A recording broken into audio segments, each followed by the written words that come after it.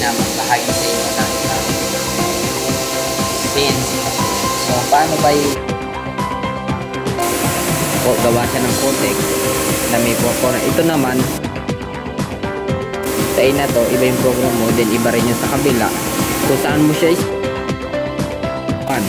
sa tabi naman, sinave mo ang program na ginawa mo sa program number 2. So, ganun siya.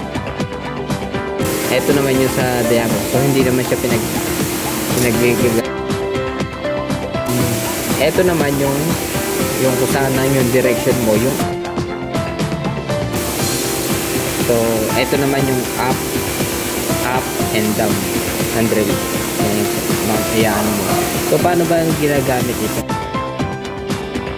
sample kasi ginagamit natin yung stopper depende kasi sa kung sobra haba naman ang drill mo. Pag ibinaba mo siya ibinaba mo ito bababa siyang ganun. Yung maximum na baba niya habang binabab drill na gamit mo. So kung lumalaki yung drill na gamit mo so bumabagal siya. Kung kasi pag, pag, pag drill mo pagbutas kahit ganang pakakapal siya na hindi siya magpupulupot katulad ng mga tips na yung mag ang haba nito. Tatlong metro. Kasi ng takay na. So open natin. Tuturo ko naman sa inyo kung paano. So pag na-on na natin original position na. So pag pinit mo siya magbabalik gamit siya sa checking pero hindi mo siya maigagalaw forward backward so halimbawa may install na akong program dyan ipit ng workpiece natin. Yan. So, pag naiipit na natin yung nailak na natin yung workpiece, then, gaya na sinabi ko, enter. Pag in-enter natin, kung saan siyang tatakbo. Yan. Set yan eh. Yung set, kung sa forward, then yung pangalawa, po-forward na siya. Automatic enter natin siya. Saan na siya mag-drill, magbubutas siya. So, natakbo siya. So, stop ko muna. Then, mas ma maraming program steady siya na noon. Pag in-enter ko ulit yan, tatakbo ulit yan, dilipat na mga one way. So, balik, balik ko lang ulit kasi stop ko muna. So, tumigil yung rotation niya. Itong lock. Pag nagsalang ka, ito lock.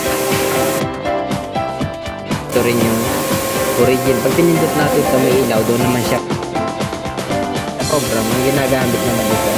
So, paano ba mag-import ng program? Sa susunod na video, tuturo sa inyo paano mag-import ng tamang program gamit ang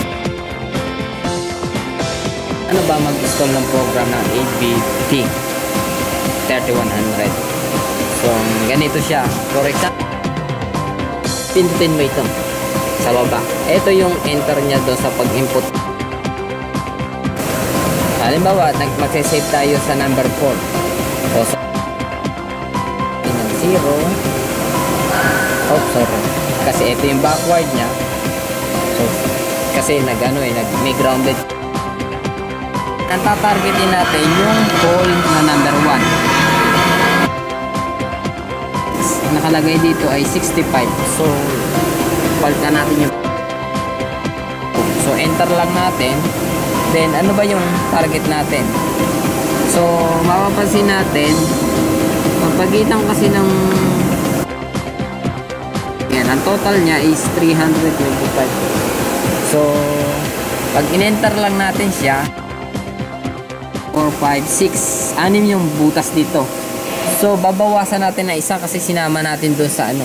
So magiging 2, 4, 6 single line babawasan natin na isa yun. Anim to ginawa natin 5 kung siya yung ano isang harera lang yung y nya so meron tayong target natin. Yung una yung isang yung pangalawang hole ng target natin ano yung x? So 65 di ba? Napansin 60 So, pag in-enter natin, gawin lang natin 0 yun. Tapos, enter natin. Then, eto.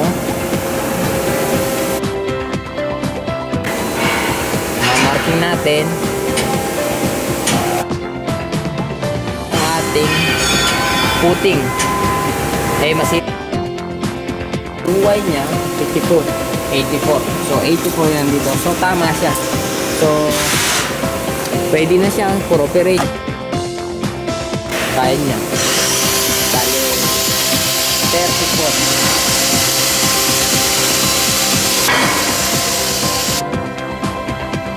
bali ano na pala? 15 bubutas na siya kusa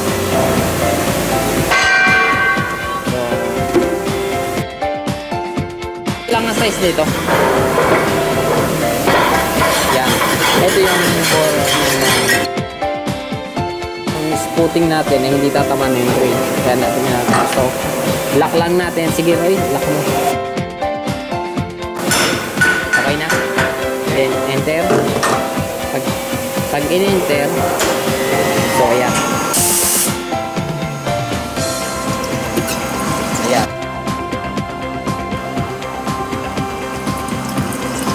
Then, ganun lang. Then, yung gawa niya.